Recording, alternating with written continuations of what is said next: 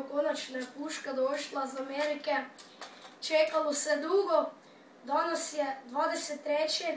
i puška je trebala pred Božić dojte, ali je malo Deda Mraz zakesnil. Sve mi je poklone na vrijeme donesel, jedino su me kesnili.